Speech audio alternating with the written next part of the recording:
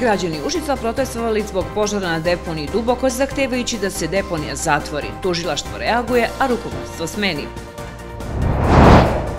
Od danas je u Čačku upotrebi poligon za obuku vozača koji se nalazi u Aveni Lipa na kraju bulevara Vuka Karadžića. Poligon se prostire na 3000 kvadratnih metara. U osnovnoj školi Branislav Petrović u Slattini održano je gradsko takmičenje u pružanju prve pomoći i realističkom prikazu.